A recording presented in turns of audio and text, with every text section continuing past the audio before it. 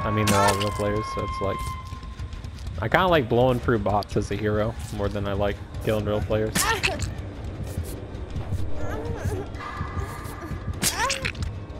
My goodness, these unnerving presence coulrophobia skill checks are ridiculous.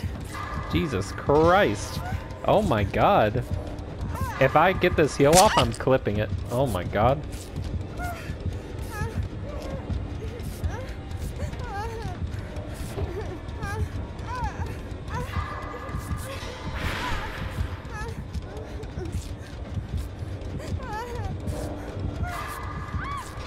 Oh my god.